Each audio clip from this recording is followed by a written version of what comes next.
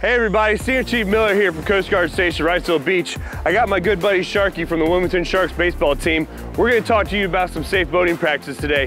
What do you think, Sharky? Can we teach them some stuff about safe boating today? Let's do it.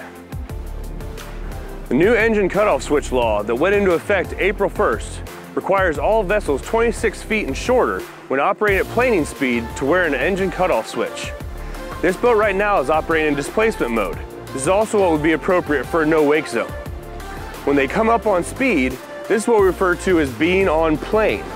This is when the engine cutoff switch is required to be worn by the operator.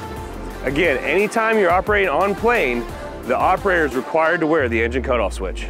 As we celebrate this year's National Safe Boating Week, along with Sharky and the Wilmington Sharks, I want to remind everybody that if you need more information, contact the Coast Guard Auxiliary for safe boating classes and free vessel exams.